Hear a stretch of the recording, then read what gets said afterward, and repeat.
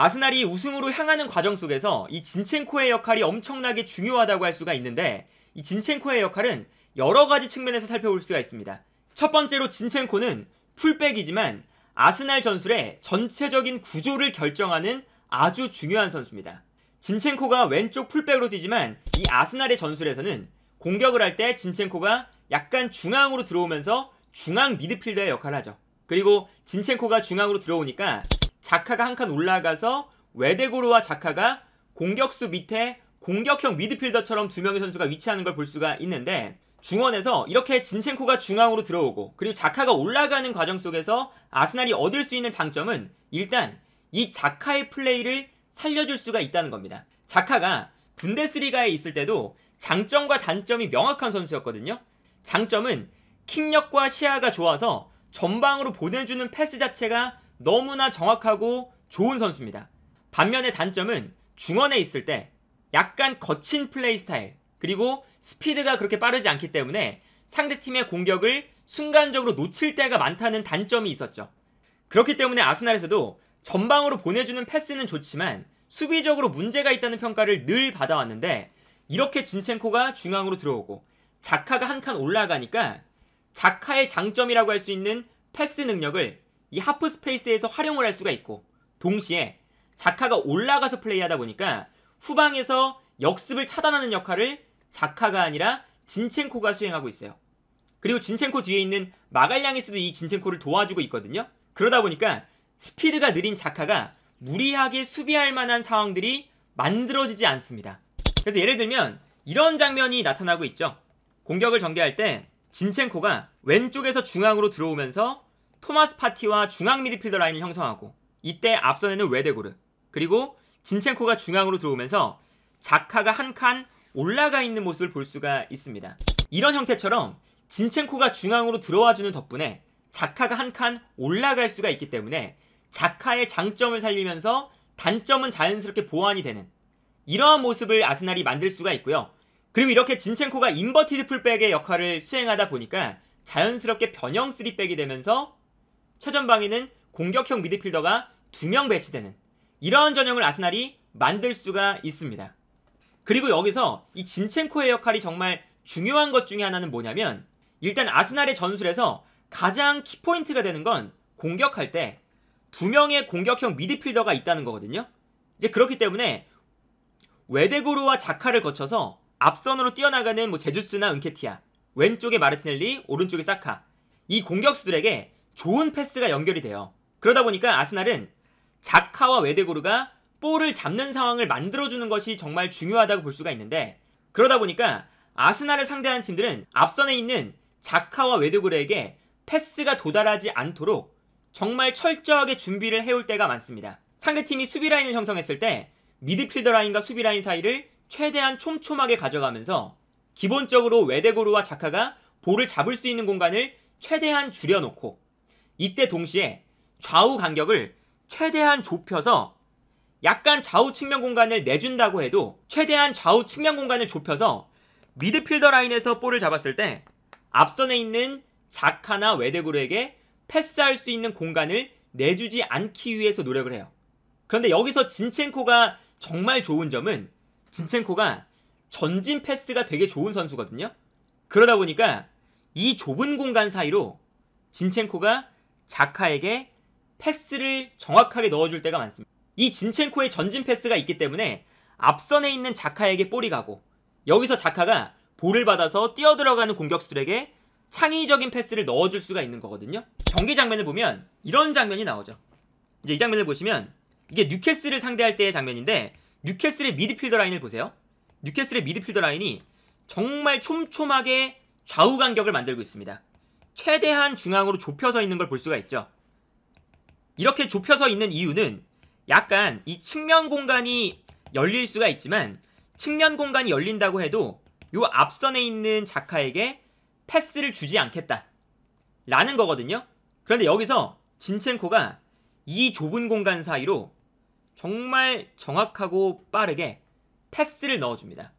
그래서 분명히 상대 미드필더 라인이 촘촘하게 수비 라인을 구성하고 있는데 이 좁은 공간 사이로 패스가 들어가니까 자카가 볼을 받아서 곧바로 결정적인 패스를 뛰어나가는 공격수들에게 뿌려줄 수가 있는 거죠. 그래서 아스날이 자카의 발을 떠나서 정말 좋은 찬스를 만드는 모습을 볼 수가 있는데 이렇게 자카의 패스가 half space에서 발휘가 되려면 그 전에 이 좁은 공간 사이로 패스를 넣어주는 진첸코의 전진 패스가 정말로 중요하다. 라고 할 수가 있겠고요. 여기에 더해서 이 진첸코의 장점은 어떤 거냐? 진첸코는 풀백, 중앙 미드필더, 공격형 미드필더, 혹은 측면 공격수까지 뛸 수 있는 선수입니다. 정말 다양한 위치에서 뛸 수가 있죠. 그렇기 때문에 애초에 풀백으로 뛰지만 중앙 미드필더처럼 들어와서 inverted 풀백의 역할을 수행하는 건데 여기서 아스날이 최근에 정말 좋은 것 중에 하나가 이 진첸코, 자카, 마르텔리 요 세 명의 선수가 정말 경기 내내 계속해서 자리를 바꾸면서 상대의 수비를 혼란스럽게 만들 때가 많습니다. 이것도 이제 진첸코의 멀티적인 능력을 충분히 활용한다고 볼 수가 있는데 이 앞선에 있는 자카가 앞쪽으로 뛰어들어가면서 수비수들을 끌고 들어가면 이때 진첸코가 한 칸 올라와서 half space에서 공격형 미드필더의 역할을 하기도 하고요. 어쩔 때는 측면에 있었던 마르티넬리가 중앙으로 들어오면서 수비를 끌고 들어올 때 이때 진첸코가 측면으로 빠지면서 풀백의 역할을 수행하기도 합니다. 그지 그러다 보니까 진첸코가 측면으로 빠져주면서 크로스를 올릴 때도 있고 중앙으로 들어와서 공격형 미드필더처럼 창의적인 패스를 뿌려줄 때도 있는 거죠. 그래서 이러한 플레이가 상대 수비를 정말 혼란스럽게 만들고 있거든요. 예를 들면 이런 장면을 볼 수가 있습니다. 이 장면을 보시면 측면에 마르텔리, 중원에 자카, 그리고 그 뒤에 진첸코가 중앙으로 들어와 있는 상황인데 이 장면에서 자카가 본인이 볼을 받을 수 없는 상태다 보니까 앞쪽으로 뛰어가기 시작해요. 그러면서 자카가 자신에게 붙어 있는 수비를 앞쪽으로 유인합니다. 그렇게 되면 원래 자카가 있었던 요 공간이 자연스럽게 비게 되겠죠. 그래서 이 다음 장면을 보면요. 자카가 앞쪽으로 뛰어가니까 상대 수비가 자카를 따라가고 있고 이때 뒤에 있었던 진첸코가 순간적으로 올라와 주면서 하프 스페이스의 공간을 차지하게 되는 모습을 볼 수가 있습니다. 그리고 자연스럽게 진첸코에게는 붙는 선수가 없으니까 측면에서 마르티넬리가 진첸코에게 패스를 보내주는 모습을 볼 수가 있었죠. 이제 그러다 보니까 진첸코가 중앙으로 들어와서 너무나 편안하게 이 half space 공간에서 볼을 받아서 창의적인 패스를 박스 안으로 넣어주는 이런 장면을 볼 수가 있었는데 이 장면도 진첸코가 애초에 풀백뿐만 아니라 중앙 미드필더 여기에 더해서 공격형 미드필더까지 소화할 수 있기 때문에 만들 수 있는 부분 전술이라고 할 수가 있겠고 특히나 이 진첸코가 있다는 게 half space를 활용할 때 너무나 좋아요. 이제 이 장면도 보시면 마르티넬리가 측면에 있고 자카가 올라가면서 상대 수비를 끌어내는 거거든요. 이때 진첸코가 한 칸 올라와서 자카가 만들어준 half space 공간에서 플레이하는 모습을 볼 수가 있습니다. 그리고 이때 진첸코에게 패스가 들어가면 진첸코가 볼을 받는 순간 자카를 마크하던 선수가 순간적으로 진첸코를 마크하기 위해서 올라오는데 이때 진첸코가 정말 센스 있는 패스를 통해서 자카에게 패스를 넣어주는 장면이죠. 이렇게 진첸코가 원래 공격형 미드필더로 출발했던 선수이기 때문에 이렇게 창의적인 패스를 뿌려줄 수 있다는 게 아스날에겐 엄청난 힘이 된다고 볼 수가 있겠고 중앙으로 들어오는 것뿐만 아니라 측면으로 나가는 역할도 너무나 잘해요. 이 장면도 어제 경기 장면인데 맨유가 분명히 수비 라인을 잘 만들고 있거든요. 그런데 이때 자카가 측면으로 움직이면서 선수 한 명을 끌고 반대편으로 이동합니다. 그러다 보니까 이 다음 장면을 보시면 자카가 한 선수를 끌고 이동하니까 중앙에 공간이 발생하거든요. 이때 진첸코가 중앙으로 들어올 수도 있었는데 중앙으로 들어오지 않고 측면으로 달려나가기 시작해요. 왜 달려나가느냐? 이 다음 장면 보시면 마르티넬리가 자카가 측면으로 움직이면서 만드는 이 공간으로 내려오고 있었거든요. 그러다 보니까 마르티넬리를 따라서 한 선수가 따라오고 있어요. 완비사카가 따라오고 있는데 이때 진첸코가 이 모습을 보고 자신이 중앙으로 들어가는 것이 아니라 측면으로 빠지면서 완비사카를 굉장히 곤란스럽게 만듭니다. 이렇게 되면 완비사카가 마르티넬리를 따라가야 되는지 아니면 진첸코를 막아서야 되는지 매우 애매한 상황이 되죠. 그래서 이 다음 장면을 보시면 결국에는 완비사카가 진첸코가 뛰어들어가기 때문에 완비사카가 마르티넬리를 따라가지 못하고 결국에는 진첸코 쪽으로 빠지니까 자연스럽게 마르티넬리가 중앙으로 들어와서 이 공간을 여유롭게 사용하는 모습을 볼 수가 있었습니다. 이러한 모습도 보면 진첸코가 정말 영리하게 공간으로 빠져들어간다는 걸 알 수가 있고 득점 나온 장면 보시면 진첸코가 처음에는 측면에서 중앙으로 들어와 있어요.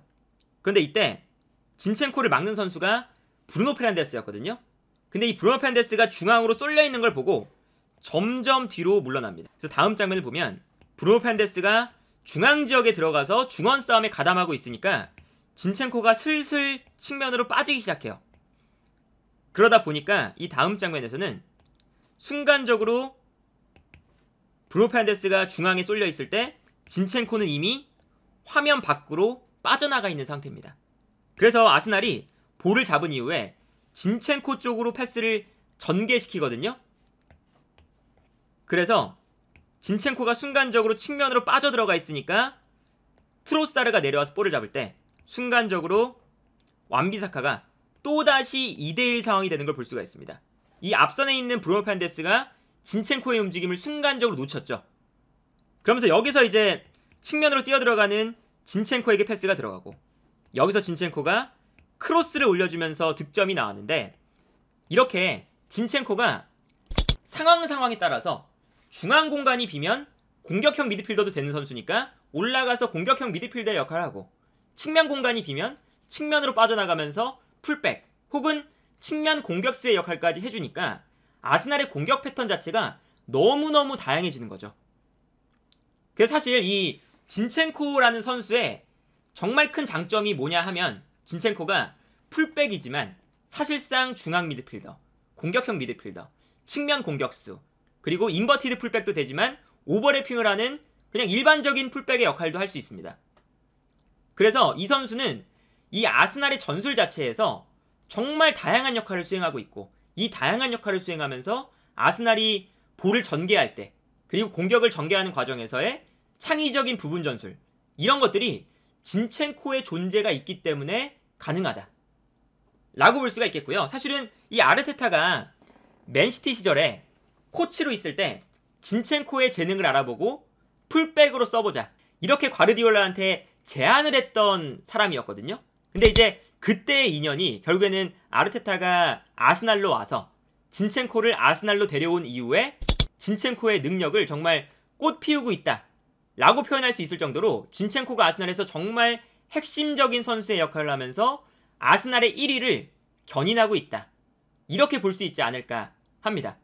그래서 이번 시즌 아스날이 만약 우승을 한다면 이번 시즌 아스날이 우승할 때 가장 중요했던 포인트는 여름 이적 시장에서 맨시티에서 백업으로 뛰던 진첸코를 데려온 거.